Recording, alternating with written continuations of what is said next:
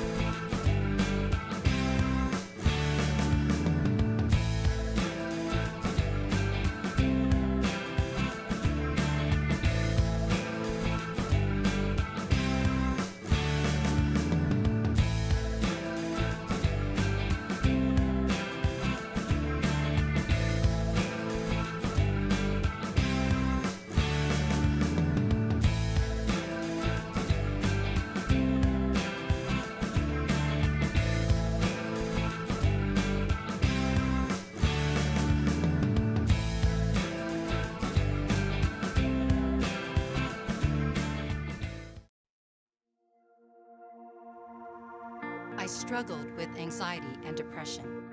I was a drug addict. I struggled with codependency. I struggle with pornography and rage.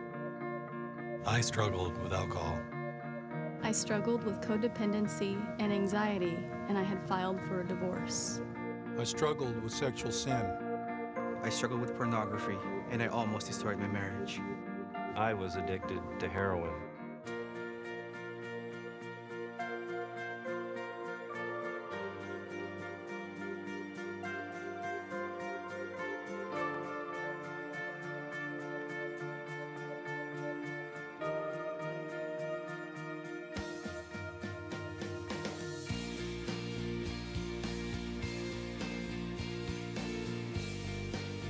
My life has changed.